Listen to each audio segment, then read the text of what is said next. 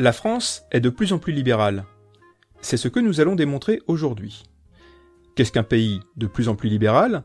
C'est un pays où la part du secteur public tend à diminuer au profit de celle du secteur privé.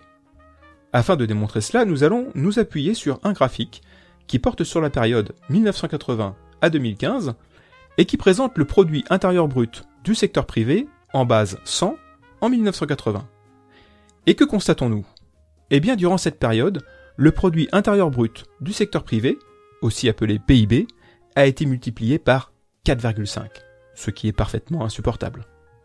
Excusez-moi, mais sur la même période, le PIB du secteur public a lui été multiplié par 7.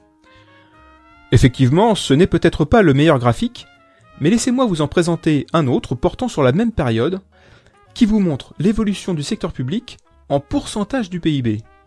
J'ai beau le prendre dans tous les sens, je vois toujours 12% d'augmentation, on en est rendu à 57, ça cause tout de même.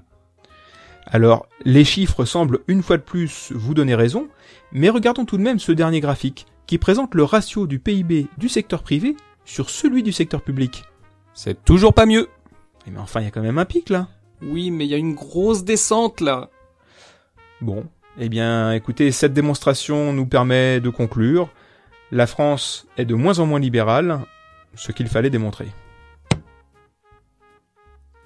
Bah oui, faut pas raconter n'importe quoi. Oui, bah moi je raconte ce qu'on me dit de raconter. C'est bien ce que je vous reproche.